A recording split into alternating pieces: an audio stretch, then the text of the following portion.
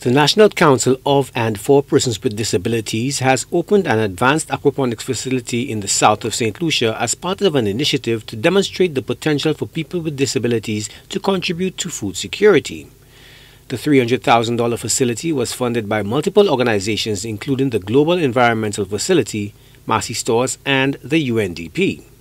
The NCPD President Murphylas James says the organization is supporting food production by growing crops and tending to fish in this very neat, accessible facility, which makes agriculture extremely attractive and user friendly. The facility contains a state of the art prefabricated aquaculture system imported from the US with fish tanks, filtration, and temperature control systems. It features wheelchair accessible planting systems so participants with mobility impairments can tend to lettuce crops and fish. Plants grow without soil, extracting nutrients directly from water circulated from the fish tanks. We understood this one is the more advanced project on the island. Tell us all about it.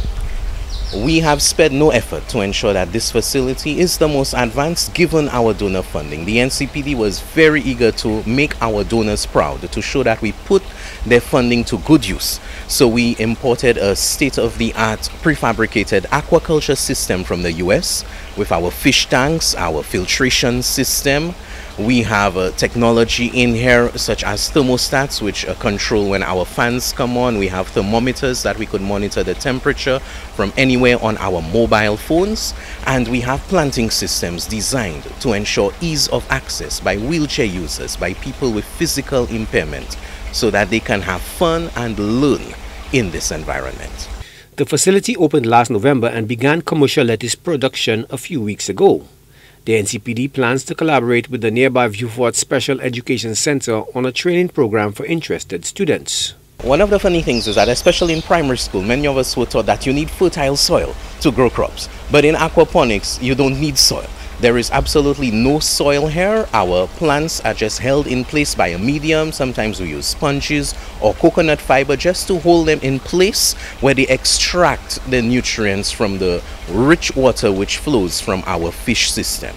So here we have two systems. We have the deep water culture or floating raft system and we have our grow tower system.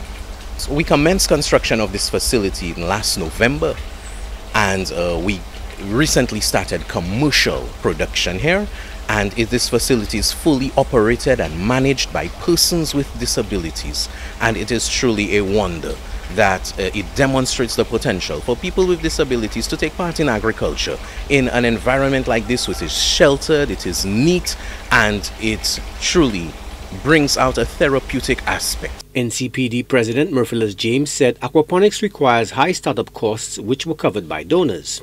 He hopes the initiative can be replicated throughout St. Lucia to involve more people with disabilities in agriculture. The NCPD Aquaponics Farm supplies produce to retail outlets including Massy Stores and Family Fruit Mart in La Ressource, as well as hotels like Coconut Bay Resorts. Joachim Duplessis, HTS News Force.